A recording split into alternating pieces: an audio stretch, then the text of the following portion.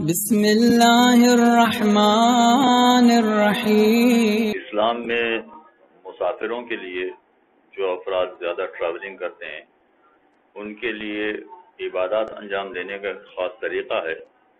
وہ اپنی مرضی سے نمازیں نہیں پڑھ سکتے، وہ اپنی مرضی سے روزے نہیں رکھ سکتے۔ طریقہ کار یہ ہے کہ اگر کوئی شخص کسی مقام پر ٹریولنگ کرتا ہے اور وہاں پر دس دن سے کم ٹھہرتا ہے اس کو نماز بھی قصر پڑھنا پڑے گی اور وہ روزے بھی نہیں رہ سکتا۔ بشرطے کہ وہ کثیر سفر نہ ہو۔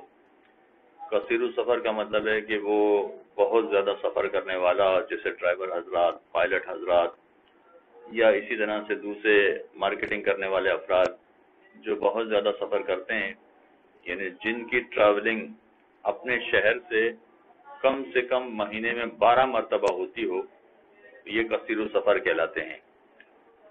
اگر ایسے افراد ہیں تو تو ان کو نماز بھی پوری پڑھنا پڑے گی اور روزہ بھی رکھنا پڑے گا، اس لیے کہ یہ کثیر السفر ہے لیکن اگر کثیر السفر نہیں ہے، ان کا سفر کبھی کبھار ہوتا ہے یا جتنا بتایا گیا ہے، اس سے کم ہوتا ہے، تو ایسی صورت میں اگر کسی جگہ پر وہ جاتے ہیں اور وہاں دس دن سے کم ٹھہرتے ہیں، تو نماز قصر پڑھیں گے اور روزہ بھی نہیں رکھ سکتے۔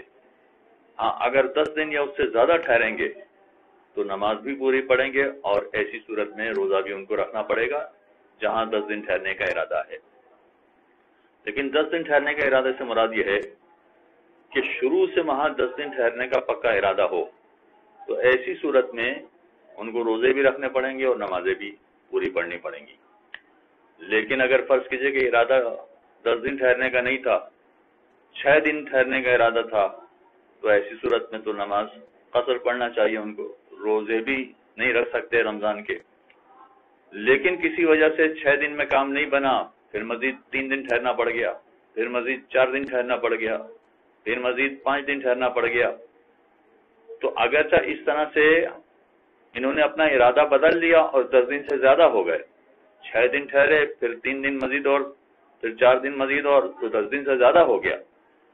لیکن اس کے باوجود یہ افراد نماز قصر پڑھیں گے اور روزہ نہیں رکھ سکتے ہیں۔ وجہ یہ ہے کہ دس دن مکمل شروع سے مسمم رہنے کا ارادہ ہو، پکا دس دن رہنے کا ارادہ ہو۔ ان کا پکا دس دن رہنے کا ارادہ نہیں تھا، بلکہ چھ دن رہنے کا ارادہ تھا۔ پھر تین دن رہنے کا ارادہ بنا، پھر پانچ دن رہنے کا ارادہ بنا۔ لہذا یہ ارادہ نہیں مانا جائے گا، اگرچہ اس طرح سے ملا کے دس دن سے زیادہ دن بن گئے۔ مگر اس کے باوجود یہ حضرات روزہ نہیں رکھ سکتے اور ان کو نمازیں بھی قصر پڑھنا پڑیں گی۔ یہاں تک کہ اس طرح سے تیس دن گزر جائیں۔ تیس دن کے بعد اگر کسی جگہ پر وہ اس طرح سے کرتے کرتے تیس دن تک ٹھہر گئے، تو تیس دن کے بعد نمازیں پوری پڑھیں گے اور پھر ان کو روزہ بھی رکھنا پڑے گا، لیکن این ممکن ہے کہ رمضان مہینہ گزر گیا ہو، لہذا روزے کا ٹائم بھی گزر جائے گا۔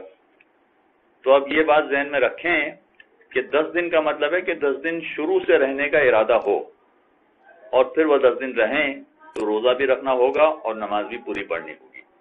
ایسا نہیں ہے کہ ٹکڑے ٹکڑے میں دس دن پورے ہو رہے ہوں تو وہ بیکار ہے، پھر تیس دن میں جا کے وہ عمل پورا ہوتا ہے کہ نماز بھی پوری پڑھنی پڑتی ہے اور روزہ بھی رکھنا پڑتا ہے۔ یہ ہو گئی ان افراد کی بات کہ جو دس دن مکمل طور پر وہاں رہنے کا ارادہ رکھتے تھے لہٰذا ان کو روزہ رکھنا چاہیے اور ان کو نماز بھی پوری پڑھنا چاہیے۔ اب اگر معاملہ الٹا ہو جائے، الٹا ہو جائے گا مطلب ہے کہ کسی نے دس دن ٹھہرنے کا ارادہ کر لیا وہاں پر، لیکن تین دن کے بعد ہی ان کا کام ہو گیا اور وہ اب ارادہ بدل دیا انہوں نے۔ دس دن نہیں ٹھہرنا ان کو، اب مزید دو دن ٹھہرنا ہے، دو دن کے بعد وہاں سے چلا جانا ہے۔ تو دس دن ٹھہرنے کا ارادہ کیا تھا، لہٰذا نمازیں پوری پڑھنا شروع کر دی۔ اور روزہ بھی رکھنا شروع کر دیا۔ مگر اب دس دن نہیں ٹھہرنا، اب مزید دو دن ٹھہرنا، دو دن کے بعد چلا جانا۔ ہے تو اب مزید دو دن روزہ رکھیں گے کہ نہیں رکھیں گے؟ جی ہاں روزہ رکھیں گے۔ اس کا اصول یہ ہے کہ اگر کسی مقام پر مقام پر انسان دس دن ٹھہرنے کا ارادہ رکھے اور پکا ارادہ کر لے کہ مجھے یہاں دس دن ٹھہرنا ہے اور اس کے بعد ایک چار رکعتی نماز پڑھ لے، تو ایک چار رکعتی نماز پڑھ لینے کے بعد اگر اس کا ارادہ بدل بھی جائے کہ اب میں دس دن نہیں ٹھہروں گا تو ایسی صورت میں اس کو نمازیں بھی پوری پڑھنی پڑتی ہیں اور روزے بھی رکھنا پڑتے ہیں، اگرچہ وہ دس دن سے کم ٹھہرے گا۔ تو نمازیں بھی پڑھنا پڑیں گی اور روزے بھی رکھنا پڑیں گے۔ یہ ایک طریقہ کار ہے مسافروں کا جو بیان کرنا ضروری تھا۔ دوسری بات اس سلسلے میں یہ ہے کہ اگر کوئی شخص رمضان میں سفر کرتا ہے، تو اگر اپنے علاقے سے، اپنے شہر سے زوال سے پہلے نکلتا ہے تو ایسی صورت میں یہ روزہ نہیں رکھ سکتا۔ ہے اس دن کا روزہ نہیں رکھ سکتا۔ ہے اس دن کا روزہ نہیں رکھ سکتا کا مطلب یہ ہوا کہ اب سفر کرنے کے لیے مثلا کسی ایسی جگہ پہ جا رہا ہے، وہاں جہاں دس دن نہیں ٹھہرنا اس کو۔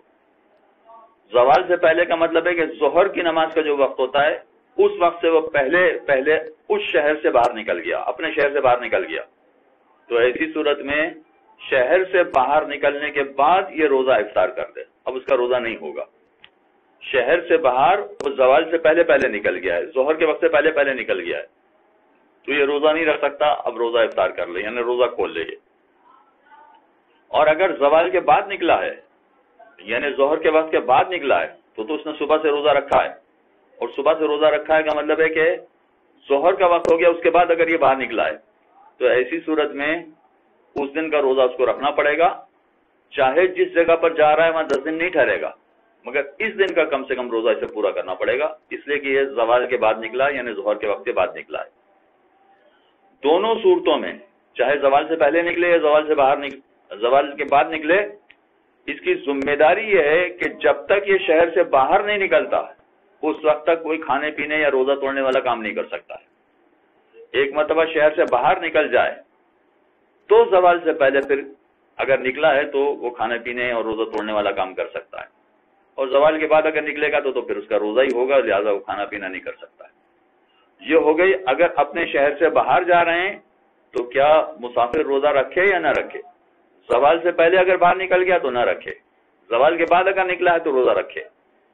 اور اگر اپنے شہر میں واپس آ رہا ہے، تو ایسی صورت میں بھی اگر وہ زوال کے بعد واپس آیا ہے اپنے شہر میں یعنی اپنے شہر کے حدود میں پہنچ گیا ہے اگر زوال کے بعد پہنچا ہے تو ایسی صورت میں یہ روزہ نہیں رکھ سکتا۔ اگرچہ صبح سے اس نے کوئی چیز کھائی پی نہیں ہے، یا کوئی ایسا عمل کام، کوئی کوئی ایسا عمل نہیں کیا کہ جس سے روزہ ٹوٹ جائے۔ مگر زوال کے بعد اگر اپنے شہر میں پہنچا ہے تو یہ روزہ نہیں رکھ سکتا ہے۔ لیکن اگر زوال سے پہلے اپنے شہر میں واپس پہنچا ہے تو ایسی صورت میں شہر میں پہنچنے کے بعد اگر اس نے کوئی ایسا کام نہیں کیا کہ روزے کو توڑ دیتا ہو، تو روزے کی نیت کر لے اور اس دن کا وہ روزہ رکھ سکتا ہے۔ وصلى الله على محمد وعلى اللهم صل على محمد وآل محمد.